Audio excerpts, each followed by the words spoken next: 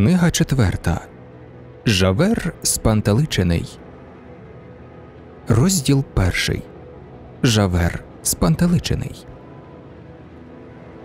Жавер тим часом повільною ходою віддалявся від вулиці озброєної людини. Він ішов уперше в своєму житті, похнюпивши голову, і вперше ж таки в своєму житті заклавши руки за спину.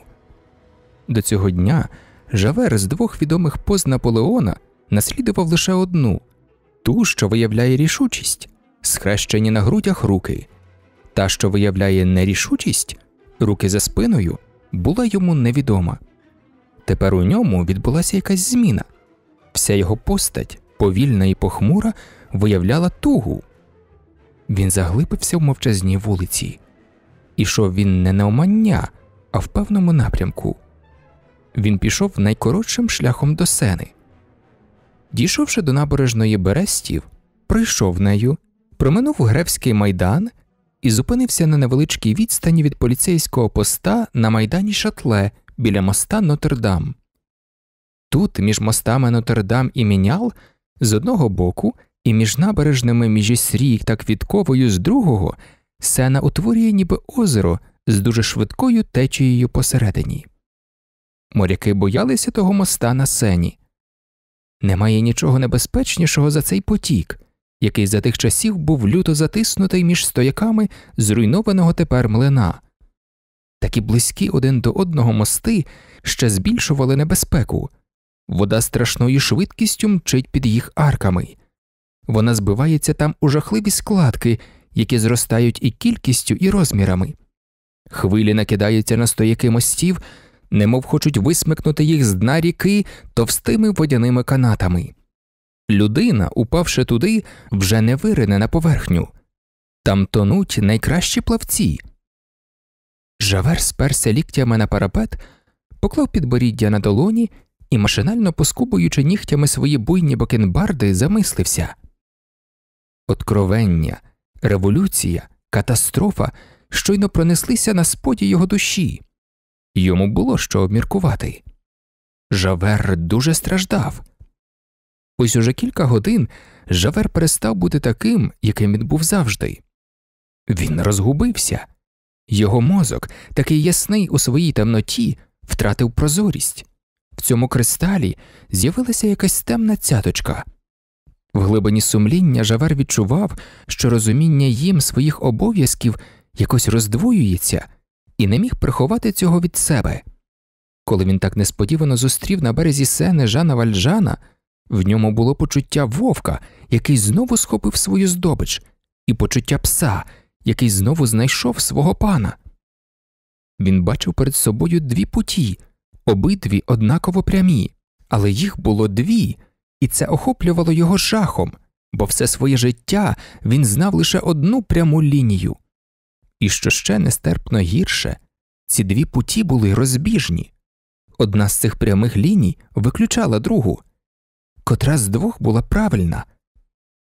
Описати його становище словами неможливо бути зобов'язаним життям якомусь злочинцеві, визнати цей борг і сплатити його, поставити себе проти своєї волі на одну дошку з біглим каторжником і заплатити йому послугою за послугу дозволити сказати собі забирайся, а тоді самому сказати будь вільним, принести в жертву особистим мотивам свої службові обов'язки, обов'язки загального характеру, і почувати в цих особистих мотивах те щось загальне, може навіть вище за службові обов'язки, зрадити суспільство, щоб залишитися вірним своєму сумлінню. І сталося ж таке накопичення всіх цих реальних абсурдів, ось що гнітило його. Його здивувало, що Жан Вальжан зробив йому милість, і чудувало до остовпіння, що він, Жавер, зробив милість Жанові Вальжану. Що з ним сталося? Він шукав колишнього самого себе і не знаходив. Що робити тепер? Віддати Жана Вальжана правосуддю погано, залишити його на волі погано. У першому випадку урядовець спав би нижче за каторжника, в другому випадку каторжник піднісся б над законом і потоптав його. В обох випадках ганьба для нього Жавера. всі можливі вирішення були падінням. Доля ставить різкі границі можливому, поза яким життя безодня. На краю такої безодні стояв і жавер. Завдавало йому туги потреба думати. До цього змушували ці протилежні, надзвичайно бурхливі переживання, а думання було незвичайним для нього і навіть болісним процесом. Вдумання завжди є певна кількість внутрішнього повстання, і це дратувало Жавера. Думати про будь що поза вузьким колом його служби завжди втомлювало його, бо не давало ніякої користі. Думки ж про те, що сталося сьогодні, в цей день, що вже добігав кінця, були для нього мукою. А проте, після таких потрясінь треба було зазирнути в своє сумління і розібратися в собі самому. Сьогоднішні його вчинки викликали дрож у Жавера. Він, Жавер, всупереч всім поліцейським правилам, всупереч усій громадській і судовій організації, всупереч закону в цілому, визнав за потрібне дати волю людині. Так було краще для нього. Громадські інтереси він підкорив своїм власним. Хіба ж таке можна кваліфікувати? Кожен раз, згадуючи про свій вчинок, якому він не міг навіть підшукати назви, Жавер тремтів з голови до ніг. Що ухвалити? Йому залишалося одне негайно повернутися на вулицю озброєної людини і заарештувати Жана Вальжана. Ясно, то був його обов'язок. Але він не міг зробити цього. Щось перегороджувало йому дорогу в цьому напрямі. Що саме? Як? Невже у світі існує ще щось крім трибуналів, судових наказів, поліції та уряду? Жавер був у цілковитому замішанні. Недоторканий галерник, каторжник, якого не можна заарештувати. І винний у цьому жавер. Жавер і Жан Вальжан. Людина створена, щоб карати, і людина створена, щоб терпіти. Двоє людей, підлеглі закону, дійшли того, що обидва поставили себе понад законом. Хіба це не жахливо? Як же так? Невже за такі неймовірно незаконні речі ніхто не буде покараний? Жан Вальжан, що виявився сильнішим за весь існуючий соціальний лад, залишатиметься вільним, а він, Жавер, і далі їстиме казенний хліб. Думки його ставали просто жахливі для нього самого. Він міг би через цю задумливість дорікнути собі ще й те, що привіз бунтаря додому, на вулицю Фільдюкальвер, але про таке він вже й не думав дрібніші помилки губляться у більших. До того ж, бунтар був очевидно мертвий, а за законом смерть припиняє переслідування. Жан Вальжан, ось що тягарем лежало на його сумлінні. Жан Вальжан збивав його з пантелику. Всі аксіоми, на які він спирався ціле своє життя, завалювалися перед цією людиною. Великодушність Жана Вальжана стосовно нього гнітила Жавера. Він згадав інші факти, які раніше вважав за дурниці, які здавалися йому тепер істиною. За спиною Жана Вальжана виростала постать пана Мадлена, їхні фігури зливалися в одну суцільну і гідну пошани. Жавер почував, як у душу його проникало щось жахливе захоплення каторжником, повага до галерника. Чи можливо ж це? Він здригався, думаючи про таке, але не міг позбутись її. Даремно пручався Жавер. В глибині серця він мусив визнати високу душу цього негідника. То було просто відразливо. Злочинець благодійник, каторжник, який співчуває людям, буває до них милостивим, м'яким, допомагає їм, платить за зло добром і прощенням за ненависть, надає перевагу жалості перед помстою, каторжник, який воліє краще загинути сам, ніж убити свого ворога, і рятує того, хто колись завдав йому непоправного удару. Галерник, що стоїть навколішки на вершині доброчесності, ближчий до ангела, ніж до людини. Жавер мусив визнати, що таке страховище існує. Далі тривати так не могло. Звичайно, і ми підкреслюємо це він не без боротьби здався цьому страховищу, цьому безчесному ангелові, цьому огидному героєві, що обурював майже так само, як і дивував. У кареті, коли він з Жаном Вальжаном сидів поруч, тигр закону двадцять разів починав рикати в його душі. Двадцять разів хотів він кинутися на Жана Вальжана, схопити його і пожерти, тобто заарештувати. І дійсно, що було простішого крикнути біля першого поста, повз який вони проїздили Ось біглий рецидивіст каторжник, покликати жандармів і сказати їм Ця людина належить вам. А самому піти, залишивши там цього рокованого чоловіка, не знати про дальше і більше ні в що не плутатись. Цей чоловік назавжди був полоненим закону, і закон робитиме з ним що схоче. Що є справедливішого? Жавер казав собі все це. Він хотів, незважаючи ні на що діяти, схопити цього чоловіка, але й тоді, як і тепер, не міг. Судорожно підводячись до коміра Жана Вальжана, рука його, немов під тиском неймовірної ваги, кожен раз падала вниз, і на споді душі він чув голос, якийсь дивний голос, що кричав йому Добре, видай свого рятівника. А тоді, як Понтій Пілат, звели принести води і помий собі пазурі.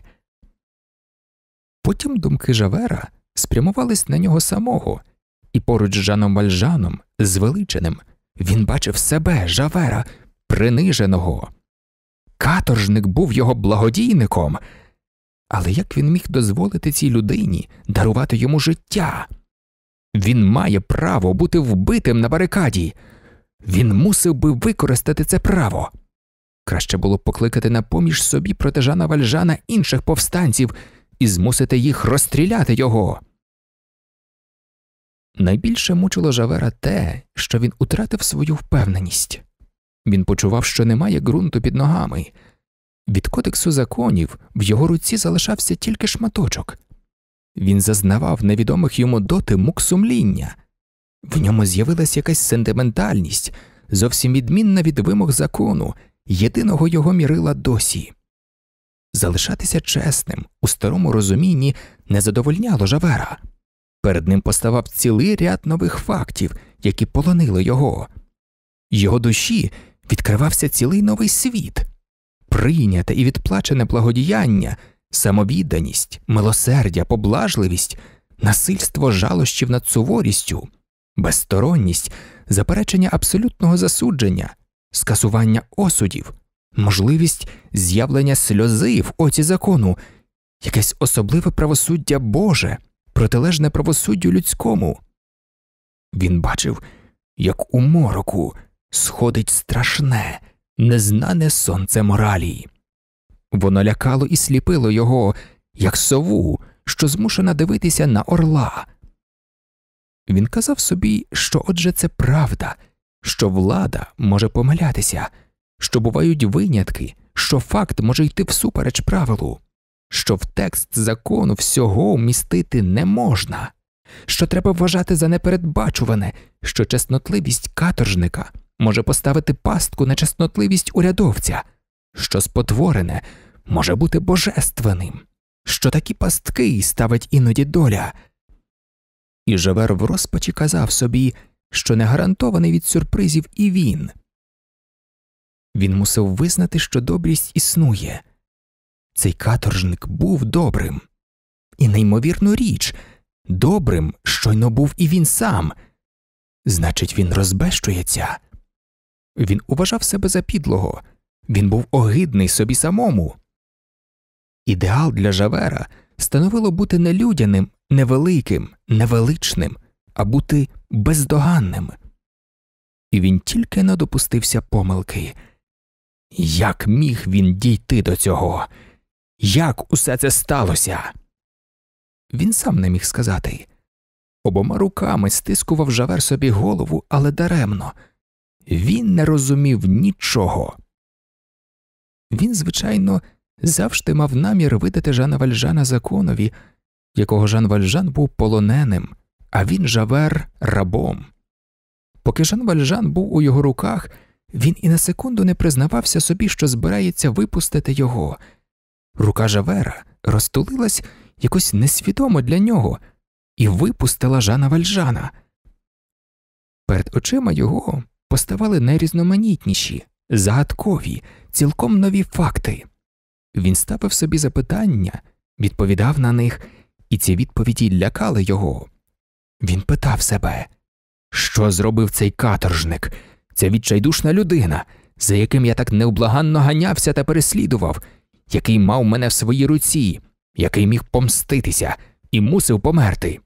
По-перше, щоб зігнати злість, а по-друге, для власної безпеки, і який помилував мене і дарував життя. Чи виконував він свій обов'язок? Ні, щось більше. А що в свою чергу зробив я, звільнивши його? Виконав мій обов'язок? Ні, щось більше. Є, виходить, щось більше, ніж обов'язок. Тут він плутався, терези його псувались. Одна шалька падала в безодню, а друга здіймалась до неба. І Жавера лякали однаково і та, що вгорі, і та, що внизу. Не будучи аж ніяк ні так званим вольтер'янцем, ні філософом, ні невіруючим, відчуваючи навпаки інстинктивну пошану до офіціальної церкви, він ставився до неї як до важливої частини соціального цілого. Релігією його був порядок, і цього йому було досить. Ставши дорослим і урядовцем, він майже всі свої релігійні почуття вкладав у поліцію. І ми скажемо це без найменшої іронії, а цілком серйозно був шпигуном так, як інші бувають священниками, і в нього було своє верховне начало пан Жіске. І до сьогодні він ніколи й не думав про інше верховне начало Бога. Цю нову владу, Бога, він відчув зненацька і замішався. Присутність нового, несподіваного начальства загнала Жавера в безвихідь. Він не знав, як триматися з ним, знав тільки, що підлеглий повинен завжди згинатися, не має права ні не слухатись, ні критикувати, ні сперечатися. А коли начальник занадто дивує його, нижчий може зробити єдине подати заяву про відставку. Але як його подати таку заяву богові? Та хай там як, а над усім цим панувала одна думка, і до неї Жавер раз у раз повертався думка про те, що він тяжко порушив закон. Він допіру, мов не мав очей, і випустив рецидивіста, збіглого каторжника. Він звільнив галерника, він украв у закону людину, що йому належала. Він зробив це. Він не розумів уже себе, він не був більше певний себе самого, він не розумів причин свого вчинку, голова його паморочилась. До останнього дня він жив сліпою вірою, яка зроджує похмуру чесність. Тепер ця віра покинула його, і тієї чесності йому бракувало. Все, що він вірив, розвіялося, нові істини проти його волі безжально опановували його голову. Віднині доводилось стати іншою людиною. Він зазнавав дивного болю в сумлінні, з якого раптом здійняли катаракту. Він бачив те, на що йому гидко було дивитись, він почував себе випорожненим, некорисним, відірваним від свого минулого життя, покинутим, знищеним. Представник влади в ньому помер, його існування втратило свій смисл. Жахливе становище бути зворушеним, бути гранітом і сумніватися, бути суцільно злитою в формі закону статуєю покари і раптом під бронзовою оболонкою своєї груді помітити щось неслухняне, стороннє, якусь подобу серця, дійти до того, що сплатити добром за добро, яке лише вчора вважав за зло, бути сторожовим псом і лизати руки, бути кригою і танути, бути лищатами і стати рукою, раптом відчути пальці, які розтулюються, випустити здобич це ж страшна річ. Людина снаряд збивається з дороги і повертає назад. Бути змушеним визнати, що непомильність не завжди непомильна, що хибне є і в догмі, що слово закону це ще не все сказане, що суспільство влаштоване недосконало, що, виконуючи накази влади, можна вагатись, що й нехибке може похитнутись, що й судді люди, що й закон може помилитись, що й трибунали не завжди праві, побачити розколену безкраї плакиті неба.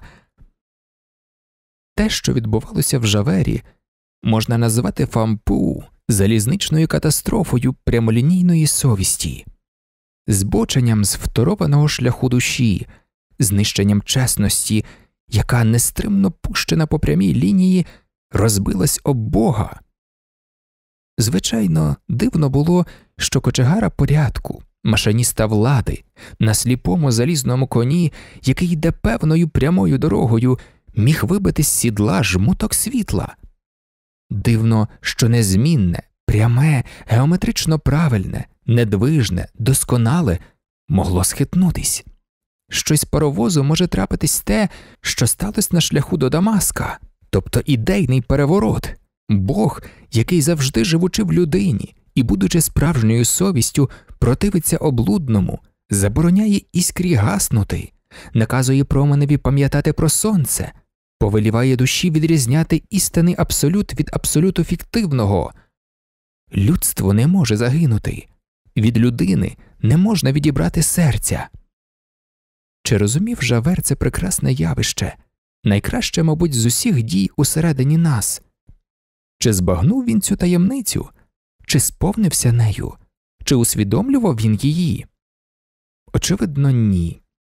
Але він почував, як під тиском цієї безперечної незбагненності у нього розломлюється череп. Це диво не стільки преобразило його, скільки він став його жертвою. Він страждав, був у розпачі. В усьому цьому він бачив тільки одне жити стало неймовірно тяжко. Йому здавалось, що ніколи він не зможе вільно дихати. Він не звик мати над головою щось невідоме. Досі все, що було над ним, уявлялось йому у вигляді чистої, рівної, ясної поверхні. Там не було нічого невідомого або темного, все було певне, узгоджене, систематизоване, чітке, точне, окреслене, обмежене, замкнене, все передбачене. Влада була чимось рівним, ніяких проваль у ній самій, і голова аж ніяк не йшла обертом перед нею. Невідоме Жавер завжди бачив тільки внизу неправильне, несподіване, безглузді хаотичні розколини, можливість упасти в безодню. Все це було внизу, у бунтарів, у поганих людей, у знедолених. Тепер Жавер закинув голову назад, і його несподівано злякало неймовірне видовище безодня вгорі. Як? Все в тебе згори донизу зірвано, все абсолютно переплуталось. На що ж звірятися? Те, чого він був певний, завалилось. Як? Хиби панцира суспільства виявив якийсь великодушний нагідник? Як чесний слуга закону, і щоб отак раптом опинився в лапах між подвійним злочинством, випустити людину злочин і заарештувати її теж злочин? Значить, в наказі, даному державою урядовцеві, не все просто та ясно, і, виконуючи обов'язок, можеш потрапити у безвихідь. Як? І все це реальне. Невже правда, що колишній бандит, зігнутий під тягарем осуду, може випростатись і кінець кінцем бути правим? Чи ймовірно це? Бувають, значить, випадки, коли закон мусить відступити перед преображеним злочином та ще просити вибачення? Так, все це було так, і Жавер це бачив і торкав. Жавер сам брав у цьому участь і не може заперечувати факту.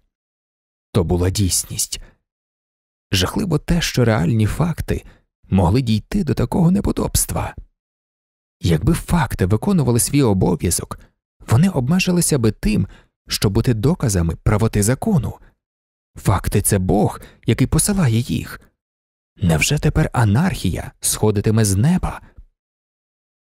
Отак під впливом чимраз більшої туги та оптичного обману, викликаного його розгубленістю, все, що могло б послабити або виправити враження Жавера, зникало. Суспільство, люди, всесвіт стали тепер перед його очима в простому і гидкому вигляді. Карна система, судові постанови, влада законів, вироки Верховного суду, самі судді, уряд, запобіжні та репресивні заходи, казенна мудрість, законна непомильність, принцип урядування, всі догми, на які спирається цивільна і політична безпечність, верховенство монарха, правосуддя, логіка, що випливає з кодексу законів, соціальні абсолюти, громадянська справедливість. Все це розбилося в дрізки, обернулося у хаос.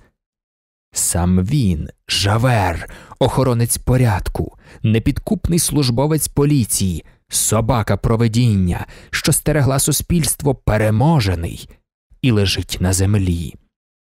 А над цією руїною стоїть чоловік у зеленому ковпаку із ореолом круг чола.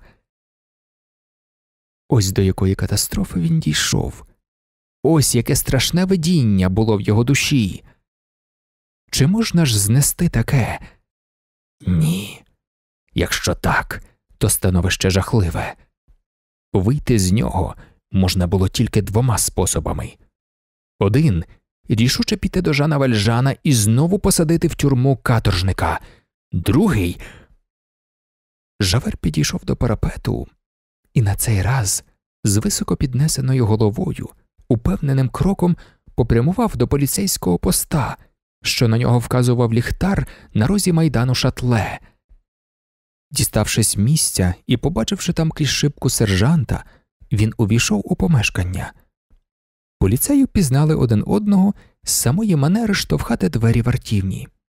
Жавер назвав себе, показав сержантові свою службову картку і сів до столу, де горіла свічка. На столі стояла свинцева чорнильниця і лежали перо та папір для можливих протоколів і записок нічних патрулів. Цей стіл та завше на довершення ще плетений стілець необхідна ознака такої установи. Він є на кожному поліцейському посту, і його незмінно прикрашає самшитове блюдечко з тирсою та картонна коробочка з червоними обладками. Це нижчий поверх офіціального стилю, з нього починається державна літературщина. Жавер узяв перо та аркуш паперу і заходився писати. Написав він ось що кілька нотаток, корисних для служби. Перше. Прошу пана префекта прочитати це. Друге. Ув'язнені, повернувшись від слідчого, роззуваються і босоніж стоять на кам'яній підлозі, доки їх обшукують. Багато хто кашляють, коли знову приходять до в'язниці. Це спричиняється до витрат на лікування. 3. Добре, що висліджуючи кого-небудь, агентів поліції розміщують на певній відстані один від одного, але у важливих випадках кожен з них мусить бачити принаймні одного з своїх сусідів. Тоді, якщо хто небудь з них вийде з якоїсь причини строю, другий, помітивши це, заступить його. 4. Незрозуміло чому спеціальні правила тюрми Мадлонет забороняють заарештованим мати стілець навіть за окрему плату. 5. В арештанській крамниці в Мадлонет грати мають лише два прути, що дозволяє в'язням доторкатись до руки продавниці. 6. В'язні, звані гавкалами, які викликають до приймальної інших в'язнів, беруть по два су з кожного, щоб вигукнути його ім'я розбірливо це крадіжка. 7. В ткацькій майстерні за спущену нитку з в'язнів отримують 10 су. Це зловживання з боку підрядчика, бо тканина від того не стає гіршою. 8. Досадно, що відвідувачам тюрми Лафорс, щоб потрапити до приймальні Святої Марії Єгипетської, доводиться проходити через двір малоліток. 9. Всім достеменно відомо, що жандарми в дворі префектури завжди розповідають, як слідчі допитують заарештованих. Коли жандарм, який мусив би свято берегти таємниці, повторює те, що він чув у кабінеті слідчого, то це серйозне порушення правил. 10. Мадам Анрі чесна жінка, крамниця її дуже чиста. Погано тільки, що жінка торгує біля дверей секретної камери. Це негідно консьєржері, так добре поставленої тюрми. Жавер цілком спокійно написав усе це своїм звичайним чітким почерком, не пропускаючи жодної коми і шумно поскрипуючи пером по паперу. Під останнім рядком він написав Жавер, інспектор першої категорії, пост на майдані Шатле, 7 червня 1832 року, близько першої години ночі. Жавер висушив тирсою чорнило, згорнув папірець, як згортають листи, запечатав, написав на звороті до відома адміністрації, поклав записку на стіл і вийшов з помешкання поста. Скляні закратовані двері зачинилися за ним. Він знову перетяв по діагоналі майдан шатле, вийшов на набережну, з автоматичною точністю повернувся на покинуте ним чверть години тому місце, сперся на ту саму плиту парапету і прибрав ту саму позу. Здавалось, він і не сходив з того місця. Було абсолютно темно момент могильного мороку, що настає після півночі. Стеля з хмар сховала зорі, небо здавалося зловісно глибоким. У будинках у сіте не було вже жодного вогнику, ніхто не проходив. Видно було лише те, що ні на вулицях, ні на набережних нема нікого. Собор Паризької Богоматері та вежі палацу правосуддя здавалися обрисами самої ночі. Ліхтар забарвлював у червоне верхній край парапету. Один за одним здіймалися силуети мостів, що майже зливались у тумані. Дощі підвищили рівень ріки. Місце, де, спершись на поруччя, стояв жавер, приходилось, ми пам'ятаємо, якраз над стромовиною сени, прямовисто над тією страшною спіраллю звирів, що крутиться, мов безкінечний гвинт. Жавер нахилив голову і глянув униз. Все було чорне, він не бачив нічого. Чути було клекіт піни, але річки не було видно. Подеколи в цій запоморчливій глибині, звиваючись, блимав якийсь вогник. Вода має властивість і найтемнішої ночі діставати звідкись світло й обертати його на вогняного вужа. Потім вогник зникав і все знову ставало невидимим. Там, здавалось, простилався безкрай. Внизу під ногами була не вода, а безодня, мур набережної, стрімкий, що ледве видний у випарах води, то не видний зовсім, справляв враження стіни бездонного урвища.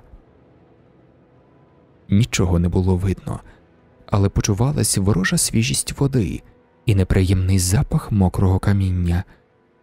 Ця безодня дихала якимось суворим духом. Підвищення рівня ріки більше вгадуване, ніж помітне, трагічний шепіт хвиль, похмуре громаддя арок моста, уявлюване падіння в цю чорну безодню, все це було повно жаху.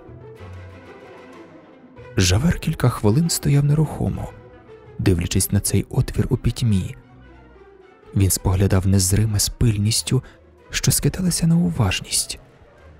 Вода клекотіла. Раптом жавер скинув свій капелюх і поклав його на край набережної.